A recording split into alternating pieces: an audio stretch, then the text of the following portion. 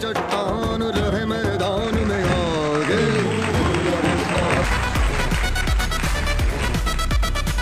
Hello game show सत्याकाल और आपका स्वागत है अकेला बिग बॉस में और एंड स्पॉन्सर्ड बाय सॉरी तो जैसा कि आपने कल देखा हमारे कंटेस्टेंट घर में आ चुके हैं तो उन्होंने घर में काफ़ी उधम मचाई है। जिसको देख के आप शायद परेशान हो चुके होंगे।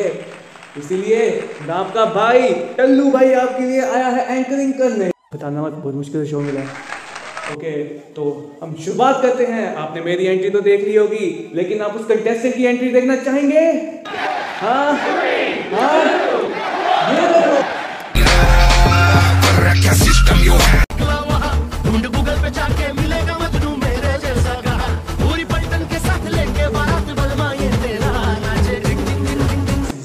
अपना आई नो आई नो आप सब बोर हो गए होंगे।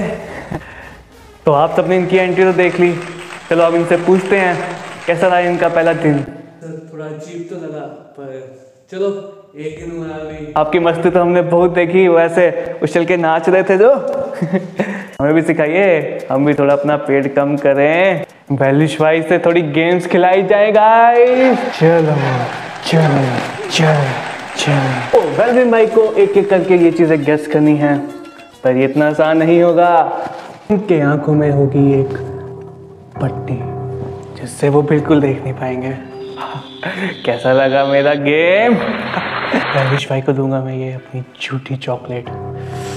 देखते हैं, क्या इसका रस, क्या उनको पता चलेगा। तो वेलविश भाई, आपका पहला राउंड स्टार्ट होता है अब। ये लो।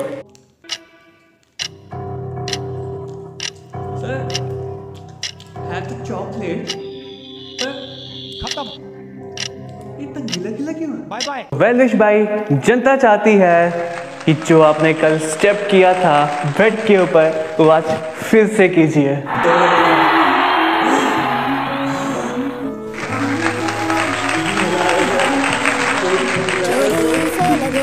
गाइस ये आखिरी राउंड है। इसमें उनको कुछ ऐसा तड़कता फड़कता देना चाहिए जिसमें आपको और मुझे दोनों को मज़ा आए। तो लास्ट राउंड ये है कि वेलविश भाई को बोलो बोलो। वेलिश भाई, आपको घर में जाके ज़ोर से बोलना है, टल्लू भाई टल्लू भाई। तो इसी के साथ आप जा सकते हैं अपने घर। आया स्वाद। तो अलविदा लेने से पहले हम सबको बताना चाहेंगे कि वेलविश भाई हमारे पहले और आखिरी कंटेस्टेंट हैं। तो ये बहुत ज़रूरी हो गया है। क्या वो विनर होगा? क्या वो लूज़र होगा?